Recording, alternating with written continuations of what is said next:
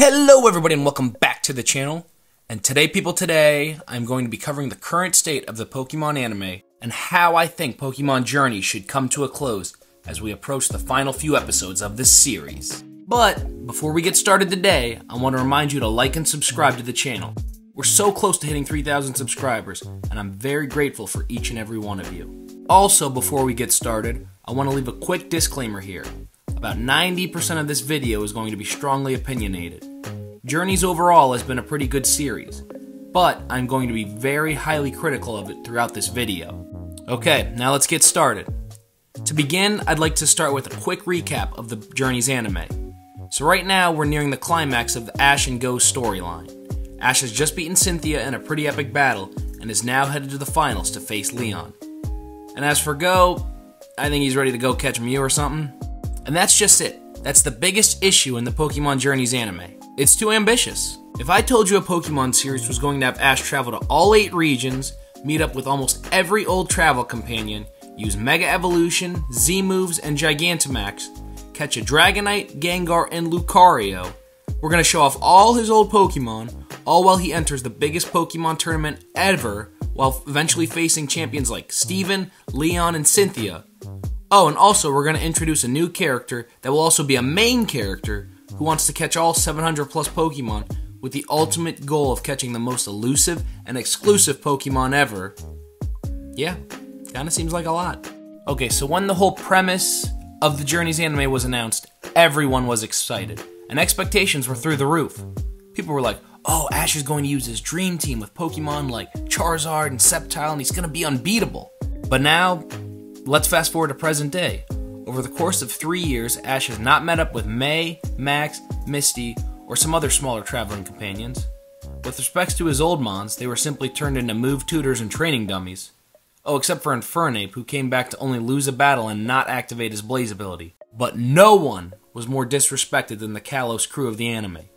We got Alain and Diantha making their triumphant return, only to get destroyed by Plot Armor King Leon. And then we have Serena, arguably the most beloved female companion of Ash's, who was turned into a 10 second hello and goodbye interaction with Ash.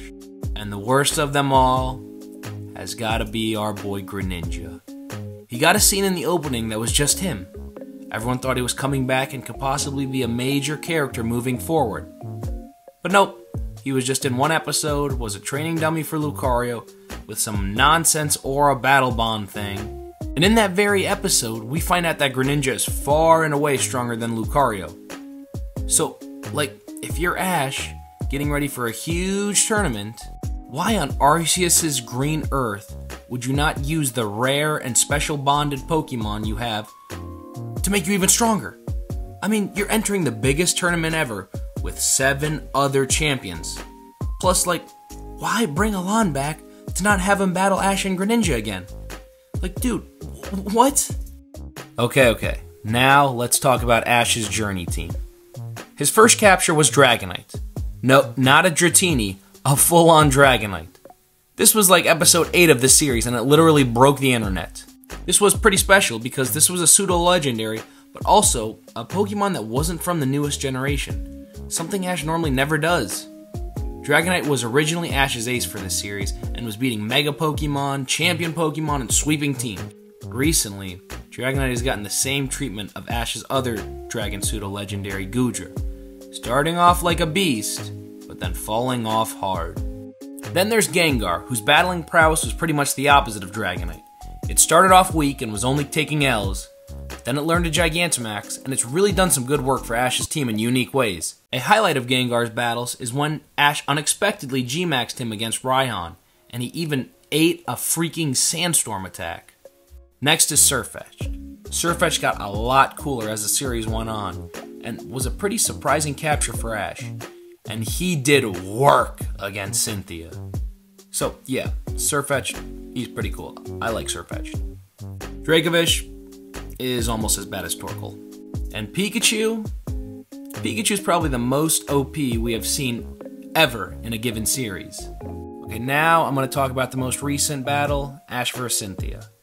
I personally thought Cynthia vs. Ash was good. It wasn't great. It didn't have as much of a narrative driving force behind it like battles between Ash and Paul, Kukui, or Gary. They tried to make Ash's Lucario mirror Cynthia's Garchomp, which I believe would have worked a lot better if the final match was Mega Lucario versus Mega Garchomp. The writers tried to surprise us with Cynthia Dynamaxing her Togekiss, but it just felt kind of forced and so underwhelming. I really admired the first episode, even though they really had Dragonite become fodder once again. But other than that, I really liked the strategic battle between Cynthia and Ash. Seeing the counter shield come back was awesome. Plus, Pikachu falling so early in such a unique way was awesome and very fresh. But then the other two episodes of the battle didn't really do it for me.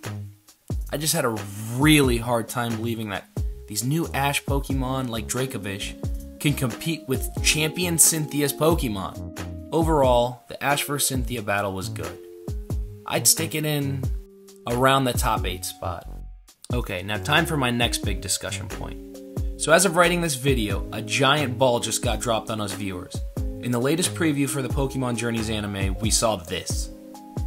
It's Leon, almost like he's commanding Eternatus. Now this image has caused the Pokemon community to unsurprisingly freak the fudge out. But after thinking about it for a couple days and looking around the community for different opinions and takes, I think there's realistically three different scenarios for Eternatus here. Scenario 1 Leon uses Eternatus against Ash. Yes, I know this seems completely insane, especially considering it's technically Goh's captured Pokemon. But he is Leon and he seems to get very, very special treatment.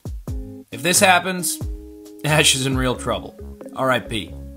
I don't think even his dream team could beat Leon's team. Because, I mean, think about it. We've seen trainers use mythicals and lower tiered legendaries like the Latis or Tapus, but Eternatus is basically a box art legendary. These box art legendaries like Dialga, Palkia, Lugia, etc. seem to be basically OP gods. I really hope the writers aren't pulling a Tobias 2.0 on us. Now for scenario 2, I think this is somehow related to Goh and will not affect Ash and Leon's battle at all. I believe we are going to have a small break before the finals of the Masters 8 tournament.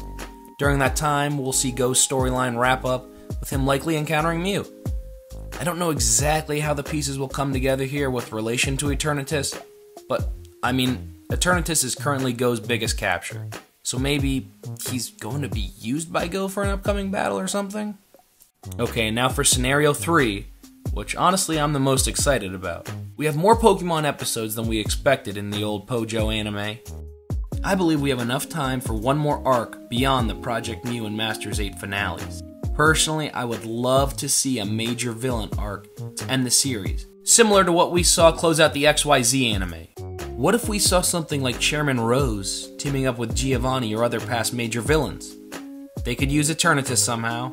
I don't know. It just seems super suspicious that Eternatus is back. It's gotta be for a reason, guys. So, overall, I'll admit I'm pretty excited for the Leon vs. Ash finale. I hope so badly that Ash wins this battle because I dislike Leon strictly for how the writers treat him. But if Ash does win this battle, I got no idea what the future will hold for him. I just hate the way the anime has treated Leon. Like, okay, he's strong, but is he three Pokemon stronger than other champions like he was shown in his battle with Diantha? This guy's Rillaboom might just sweep Ash's team if he ain't careful. I really hope to see Ash use either all three gimmicks or bring out some of his old reserves for this final battle. Or better yet, both. Imagine a team with Charizard, Sceptile, Greninja, along with G-Max Gengar, Mega Lucario, and Z-Move Pikachu. That team will be scary, and honestly might be the only chance Ash has against Leon. Of course, this would make Ash's Dragonite just total fodder for the series, but whatever, it'd be worth it to see this, in my opinion. So, to tie everything together, Pokemon Journeys, in all, has been a okay series for me. It was just a bit too ambitious for his own good. Like, seriously, they're trying to set up Goh as this major character, but I have no reason to care about him at all. And don't even get me started on Chloe the biggest waste of episodes and recap episodes and storylines and time as a whole. Like, what has she done? What? Well, guys, that's gonna do it for today's video. I hope I was able to enlighten a few of you on what I think makes the Pokemon Journeys anime unique. It's not all bad, just a bit too big for its own good. But of course, I'm very interested to hear what your guys' thoughts and opinions are on the series. How would you like to see the series wrapped up before the new Gen 9 anime? Also, don't forget to like and subscribe, and have an awesome day.